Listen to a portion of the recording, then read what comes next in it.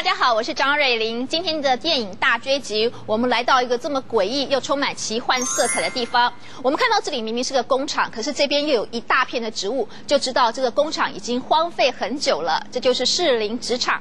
那今年金马奇幻影展也选在这边办活动，为什么选这里？就是因为这边的氛围非常符合奇幻的主题。去年金马奇幻影展举办第一届就创下了高满座率，所以今年再接再厉。那今年究竟有哪些好电影要介绍给大家呢？我们就先带大家一起来看看。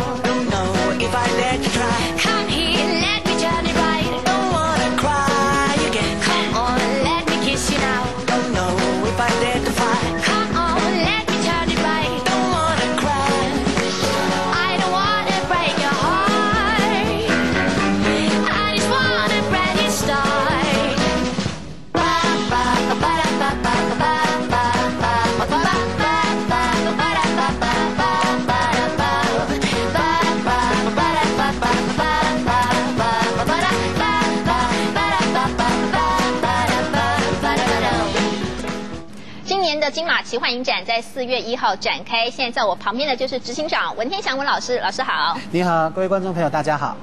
老师呢，今年的影展有哪些特色呢？对，今年的奇幻影展除了就是有一些固定的单元以外，我们还特别增加了像是呃山姆雷米的《鬼玩人大会串》，我们找齐了这个很经典的一个恐怖系列。另外呢，也特别做了墨西哥牛仔真美记，呃，去找寻一些现在在好莱坞很夯的墨西哥导演他们拍的第一部片。哇。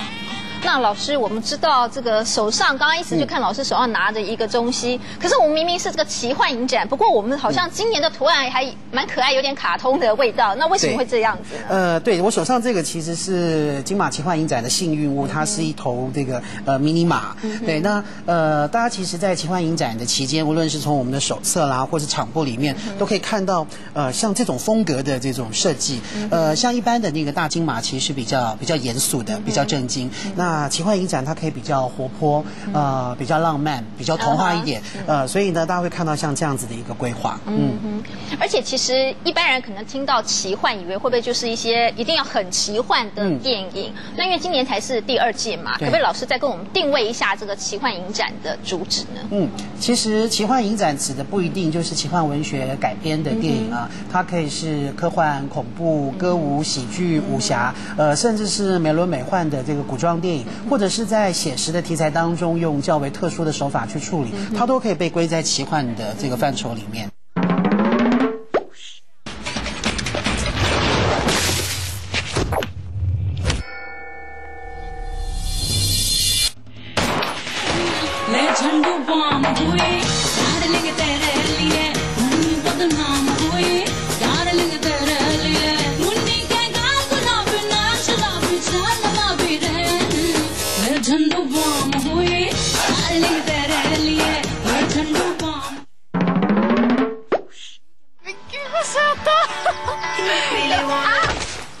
gör du? Du rörde vid mig. Jag gillar inte när någon rör vid mig. Ja, exakt.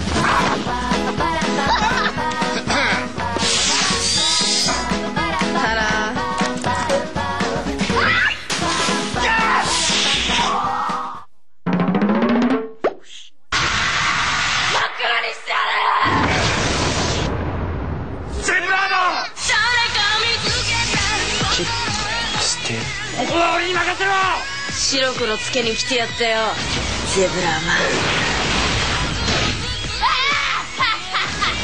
俺の背中にドクロつけるぜ。ジェブラビーム去年有一个很成功的，因为我们里面有分好几个主题，有一个经典重现。那今年有哪些经典重现？呃，今年的经典重现，呃，我个人其实最喜欢的一部片叫做《好奇盖山河》。嗯，那这是一九六呃一九六三年呃维斯康提在坎城影展拿到金棕榈奖的作品。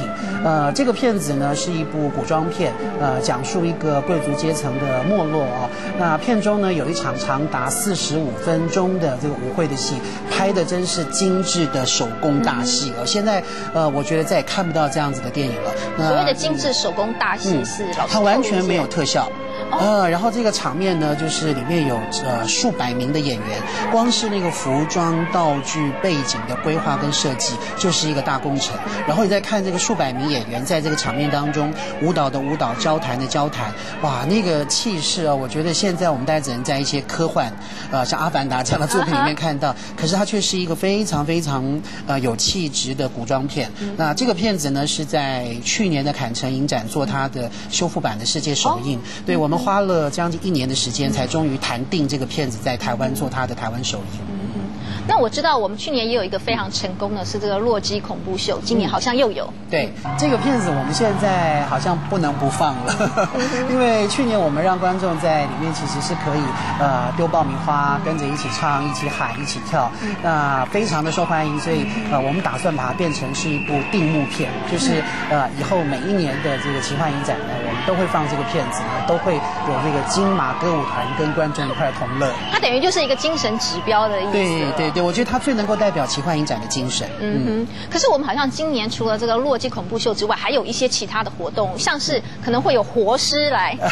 对对对，呃，我们会有这个活尸军团会在这个影展的一些特殊的场次啊，我们都不会先公布。呃，你可能看电影看到一半，或者是进场的时候才发现，坐在邻座的观众可能是一只活尸。那我们会结合这个特殊化妆，还有一些非常有趣的一些呃活动的设计，让观众在看这个奇幻影展。的过程当中，也有另外一种呃很独特的四 D 的效果，就等于要给观众一个 surprise，对对？然后跟观众的一些增加的互动，对，嗯。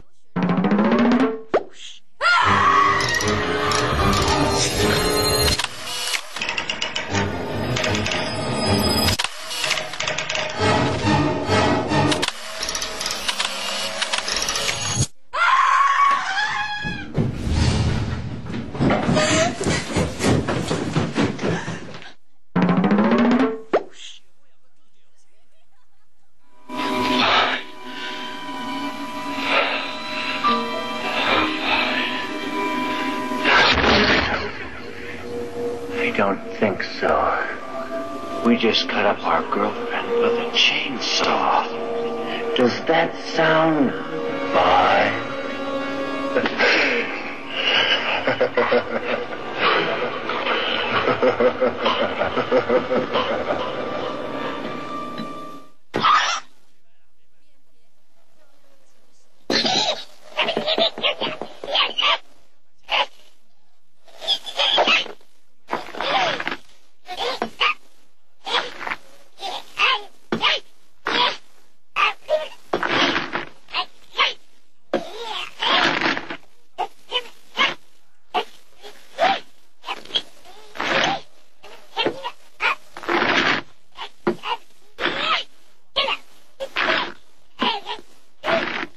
fine? 我们知道，其实奇幻影展当然也会有所谓的开幕片跟闭幕片。是。那今年的选择呢？嗯，呃，今年我们的开幕片呢，按照惯例还是一部台湾电影。我们选择的是连奕琦导演的第一部作品，叫《命运化妆师》。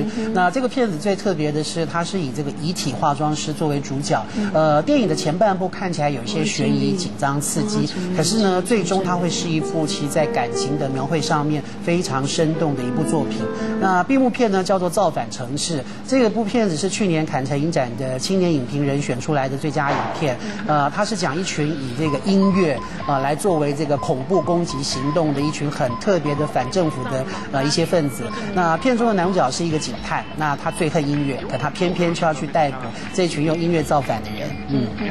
那老师如果要建议，就是一般就是去年没有来参加过奇幻影展的人，那会怎么样建议他来挑片呢？呃，我觉得各取所需很重要。比方说，如果呢你是害怕看这个恐怖电影的呃朋友的话，我会建议你要把握，比方说去看像《五国英雄》，是一部讲国际标准舞的爱情喜剧片。那整部电影呢从头到尾毫无冷场。但是如果说你喜欢看的是恐怖片的话，呃，我可能会推荐你去看像今年我们有一部叫做呃《鬼影》的电影。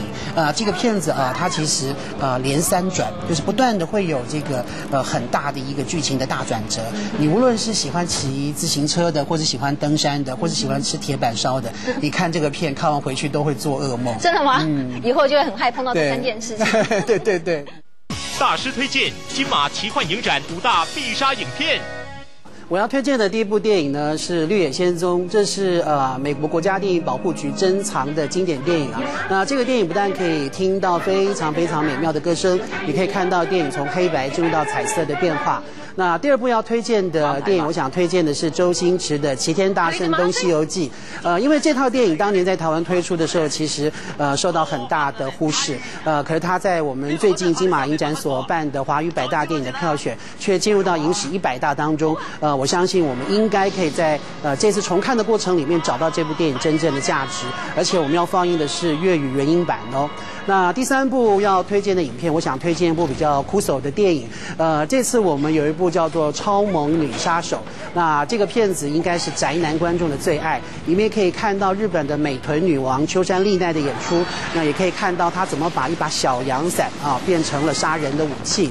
呃，第四部呃要推荐的影片，我想推荐一部可以和家观赏的电影。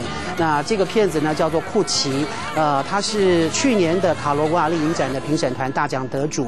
呃，故事有点像《玩具总动员三》，但是它利用啊玩偶啊以及真实的场景啊搭配出了一种更特别的叙事手法。呃，最后要介绍的一部呢是来自于北非呃摩洛哥的鬼片，叫做《北非鬼影》。那这个片子最特别的是，呃，它是透过鬼故事以及一个女律师替一个女嫌犯打官司的过程而带出的女性的宿命。那很少鬼故事会关注到女性的议题，那这个作品在这方面的表现是非常出色的。好，那大师推荐的作品，大家听清楚了吗？这总之，今年的金马奇幻影展除了有很多非常特别的电影可以看之外，而且跟观众的互动也会越来越多哦。那今天谢谢老师，哪里谢谢你谢谢。今天文执行长也特别带来了《爱情流弹》的电影特映券要送给大家哦。节目结束后，赶快上我们的官网抢。